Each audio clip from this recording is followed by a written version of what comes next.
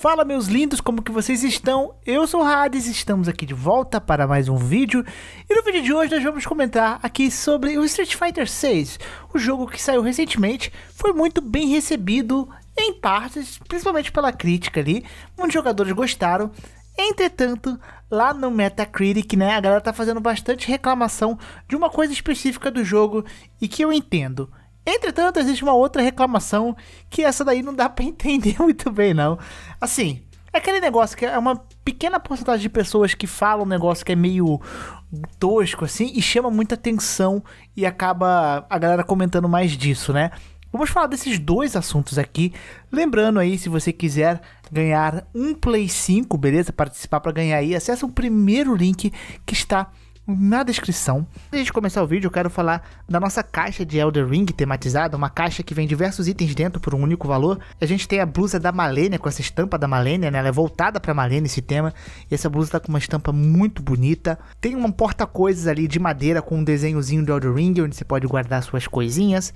Vem chaveiros ali baseado também nos talismãs que tem dentro do próprio jogo. E existem duas edições, né? Edição mais básica que vem tudo isso e também um bustozinho da Malenia, assim como veio da Artorias na última coleção, que você pode ter. E a versão um pouco mais premium que vem esta maravilha aí, nessa action figure inteira da Malenia, muito bonita também, tá? Acesse o primeiro link na descrição para você garantir a sua, principalmente a premium, ela é mais limitada, então vai acabar mais rápido. É o primeiro link que tá aí. Então, vambora pro vídeo. Então, Street Fighter 6 saiu aí este mês, né? E eu não joguei o game. Eu sou, na real, um palerma de jogos de luta. Eu sou muito ruim. Eu jogo alguns ali quando dá tempo e tal. Às vezes meio por... Só pra dar uma brincada e tal. Mas eu sou horrível nesses jogos. Eu ainda, um dia, vou pegar um jogo para aprender e masterizar um jogo de luta. Mas não é o momento agora. Não quero fazer isso. Eu tô bem viciado em Diablo, by the way. Então, não quero, né? Mas eu penso no futuro sim pegar o Street Fighter 6 para jogar, principalmente porque parece que os controles ali, né, do jogo ficaram bem mais atrativos para noobs como eu, pelo que eu vi. Mas enfim, né? O que tá acontecendo? Por que que estão criticando aí o game, né? Primeiro a parte mais pé no chão. O jogo aí né, tá com 60 e pouco ali no Metacritic, por exemplo, e os fãs estão reclamando de uma coisa bem específica passe de batalha. O jogo possui um passe de batalha tanto gratuito quanto um passe de batalha premium. Ou seja, né? Você vai pagar o valor do jogo de 60 doletas e você ainda vai ter o passe de batalha. Eu cheguei aqui procurar para ver os itens do passe de batalha, não sei se já está disponível, como eu não tenho o jogo aqui, tá? Mas até onde eu li, é um passe de batalha que vai vender itens cosméticos, tá? Então você tem esse espaço de batalhas, você vai poder fazer as paradinhas, você vai ganhando coisas ali, também acho que tem coisas para missão de mundo aberto, etc. E tem o prêmio que você ganha coisas melhores e mais fácil do que, óbvio, o passe de batalha gratuito. Isso aí é a grande reclamação dos jogadores, né? O sistema de passe de batalha que a gente vê muito em jogos gratuitos, né? Como Fortnite, por exemplo, e não jogos que você paga já 60 doletas para poder usufruí-lo, tá? Isso daí é uma crítica para mim válida. Mas vale apresentar um contraponto aqui quando a questão é cosmético em jogos pagos. Eu tenho uma opinião que é mais ou menos assim, ó. Eu sou contra, por exemplo, cosméticos pagos em jogos que são 100% single player. Por exemplo, né? pegar o próprio jogo da Capcom, Resident Evil 4. Eu não gosto que você tenha cosméticos pagos. E tem, né, no 4 remake. Mas uh, tem outra vasta maioria de cosméticos ali, os principais que não são pagos, né? Só uma edição deluxe lá. Mas vamos supor que você tivesse várias coisas pagas, quase todas as skins, por exemplo, fossem pagas ali no Resident Evil 4, sendo que ele é um jogo que você vai jogar, você vai zerar e acabou. Tipo, não, ele não se mantém constante. Então, assim, pô, bem errado, né? Só que a gente tem um porém, a gente tem jogos como, por exemplo, o próprio Street Fighter 6, o Diablo 4 que saiu agora, por exemplo, que tem essa prática, né? De cosméticos. Você pode comprar cosméticos além do valor full que você pagou. E aí eu tento entender mais ou menos a lógica.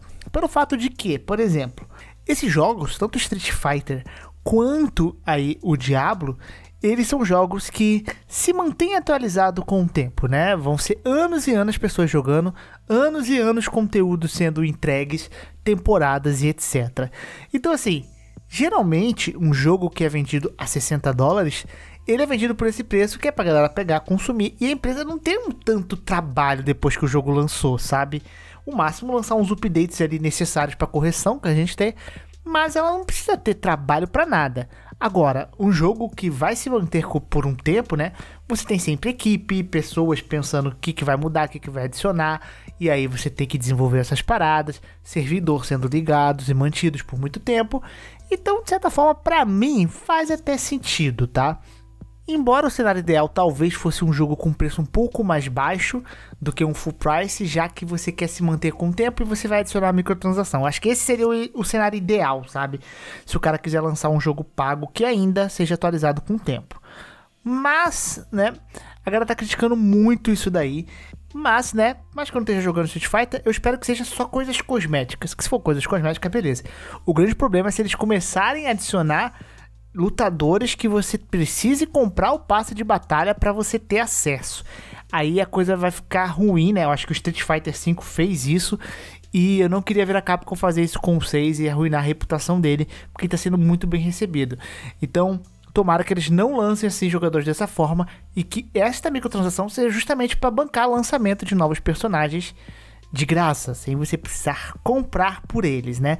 Se até jogo gratuito como League of Legends lança personagens de graça, esse jogo não deveria lançar personagens pagos. Então, eu acho que esse aqui é o ponto mais importante. Eu não, não vejo assim o problema de ter roupinhas no jogo pago se é para manter o servidor, mas desde que não adicione personagens pagos no futuro, né? Eu acho que esse é o grande problema aí. Eu sei que é uma opinião aí que pode ser meio talvez controverso para alguns e tal, né? Discordarem, mas é, é, complicado, porque você tem que sempre ter gastos ali por anos do que aquele jogo e só o preço inicial dele realmente acaba não se pagando e acaba não sendo vantajoso. Então, lança tudo single player, porque você vai lucrar muito mais do que você criar um jogo que se mantém com o tempo, né?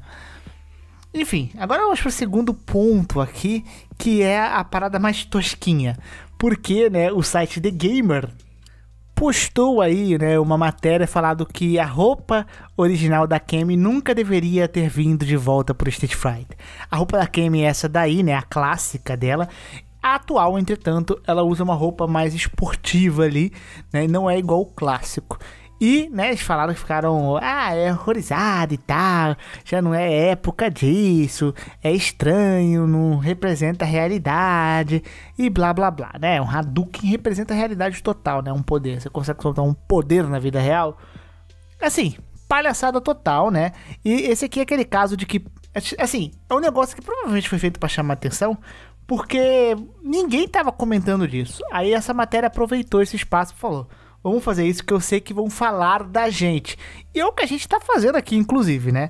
Então a ideia mais acho que foi chamar a atenção aqui, porque é bobeira. O próprio autor no final ele fala ali que é, ele não vai usar e tal, mas que ele não tá com muita raiva nem nada assim, mas que ele acha que é desnecessário. Então por que, que escreveu essa matéria, sabe? Dá, dá pra ver a intenção aqui por trás do negócio. E, cara, nada demais. Eu gosto até da Capcom, porque a Capcom ela não se rende tanto assim, né? É, ela atualiza, moderniza alguns designs, mas ela não totalmente assim, ai, estou com medinho de fazer esse visual, estou com medinho de fazer aqui. Ela não liga muito para isso não, né? Muitas desenvolvedoras japonesas ainda não ligam tanto com medo de retaliação de coisas que são bem triviais do meu ponto de vista Principalmente nesse caso aqui, né? É uma roupa de uma época clássica do jogo, onde, sei lá, acho que majoritariamente o público quase inteiro era um público masculino. É uma época anterior. E, e daí se reviver isso, maluco. Não tem problema nenhum. Mesmo se fosse atual, se a quisesse colocar o mesmo visual, não tem problema nenhum, meu amigo. É, é um boneco 3D, pelo amor de Deus. Qual é o problema disso aqui, né? Por que pode o Rio fortão ali, né? Mostrando o muquizão e não pode a moça com as pernocas à mostra. é bobeira, né?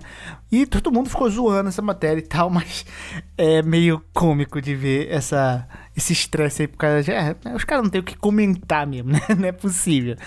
Mas, meus queridos, esse aqui é o vídeo. Espero que vocês tenham gostado. Um grande beijo, um grande abraço. Um beijo no popô. Até a próxima e tchau.